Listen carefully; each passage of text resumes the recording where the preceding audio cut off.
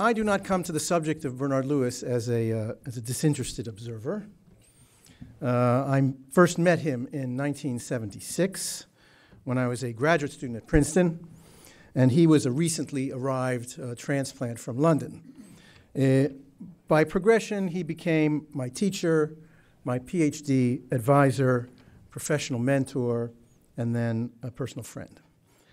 There were 38 years between us, but the age difference never seemed to matter much. Instead, he seemed to defy aging.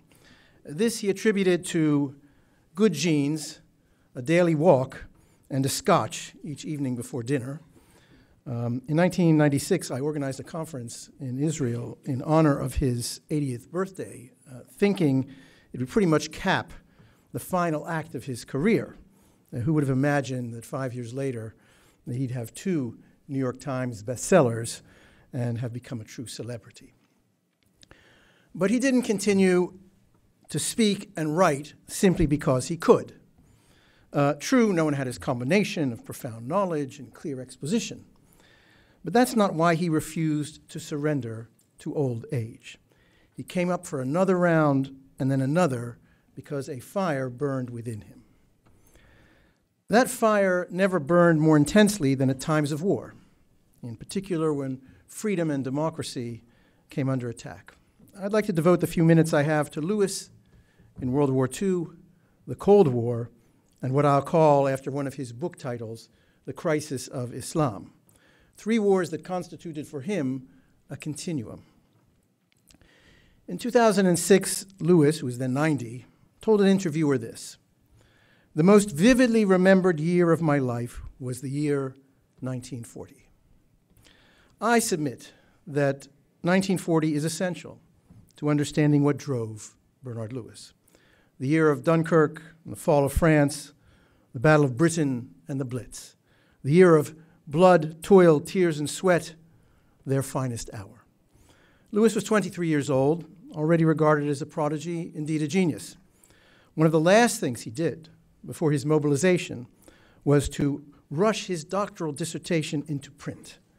It was published in London in 1940.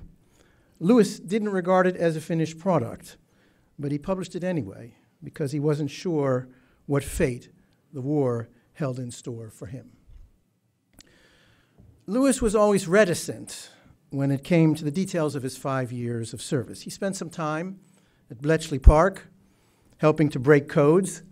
In 1941, he moved over to MI6. He described his task there as translating texts mostly from Arabic. For much of the time, it was just a desk job. Uh, later, some admirers and also detractors fancifully cast him as Lewis of Arabia. Uh, far from it. Only in the summer of 1945, when the war was almost over, did his duties take him to the Middle East.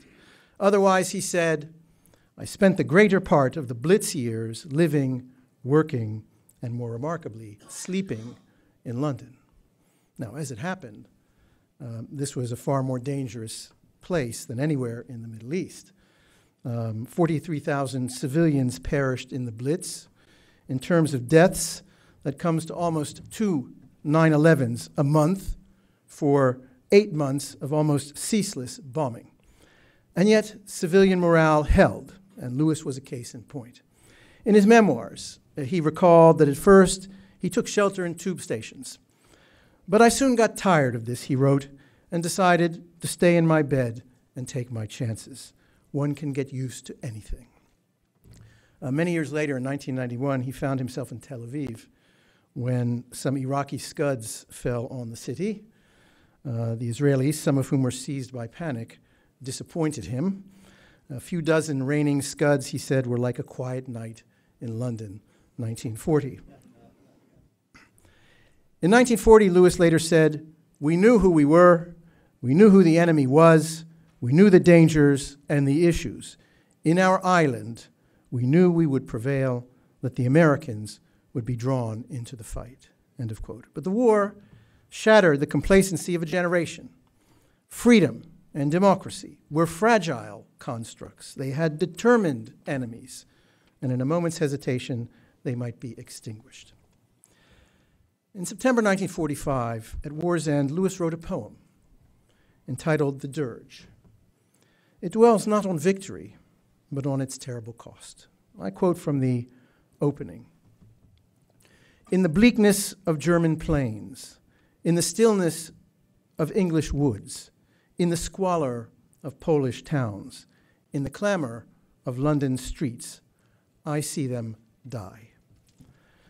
I don't think Lewis often shared his emotions about these years, but make no mistake, the war that reduced much of civilized Europe to ruins, that left Britain shabby and impoverished, and exterminated Europe's Jews, became Lewis's prism on the world. He later called the, world, the war the seminal experience of my life. Of his own generation, he wrote that, and I quote him, their every thought, their whole lives were dominated and indeed shaped by the titanic struggles in which they had participated or witnessed. And that was Lewis, too. He would be ever vigilant in the defense of liberal democracy, lest it ever be threatened with extinction again. Nor could he forget that in freedom's most imperiled and finest hour, many Arabs had sided with the enemy. After all, he'd spent the war translating evidence of their collaboration. The World War was followed by the Cold War. Uh, for Lewis's generation, this gave rise to some ambivalence.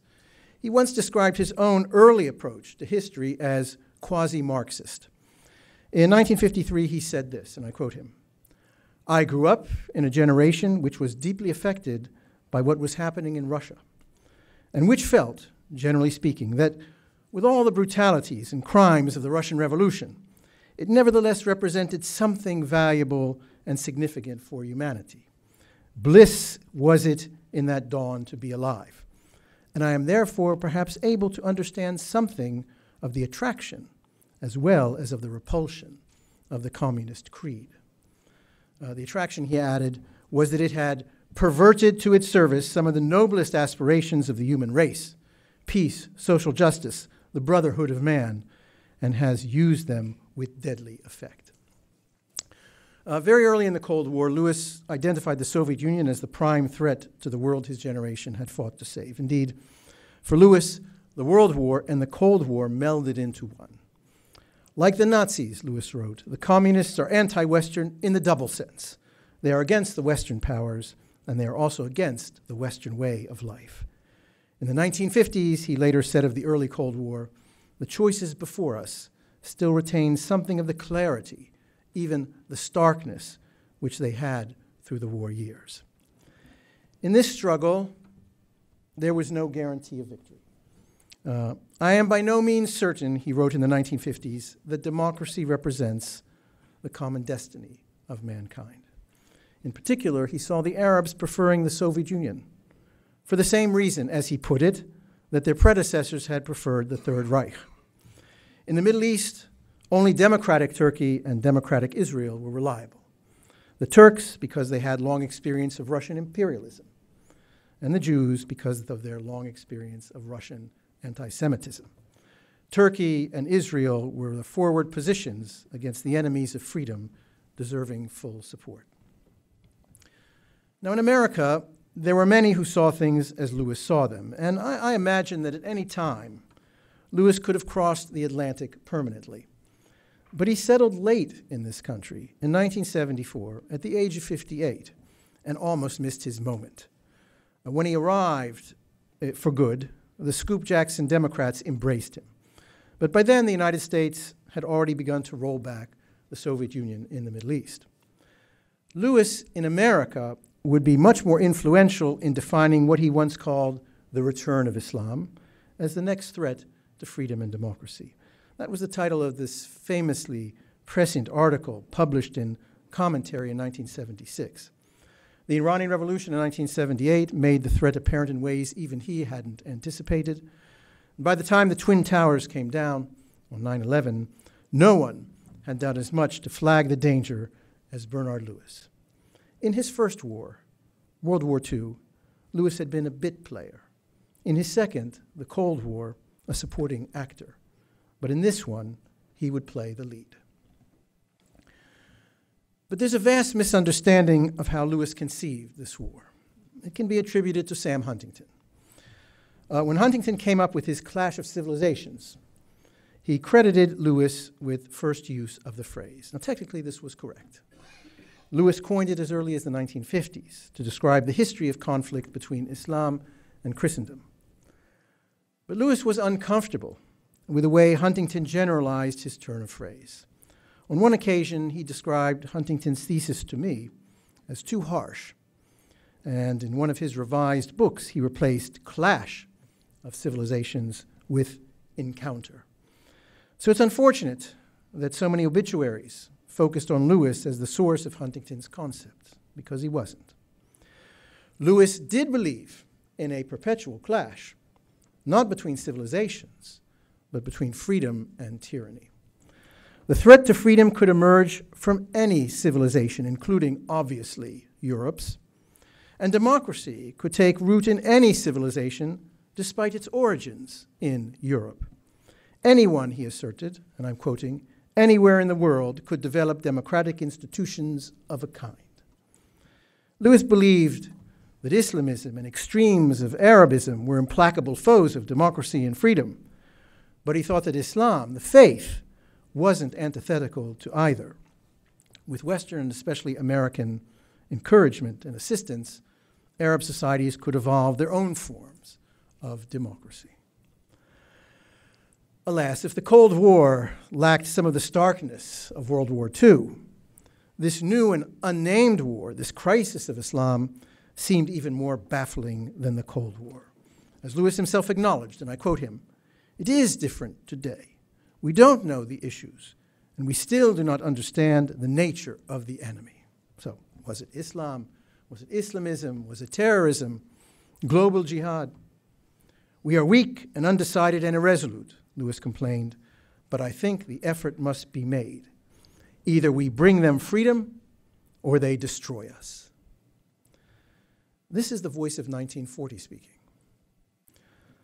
And at a simple reading, it seems like a jarring exaggeration. The Nazis could have destroyed, might have destroyed us if we hadn't defeated them and freed Germany. The Soviets could have finished us off in a morning. But who could today? Could any terrorist group, any Arab regime, or even Iran come close to posing such a threat? No.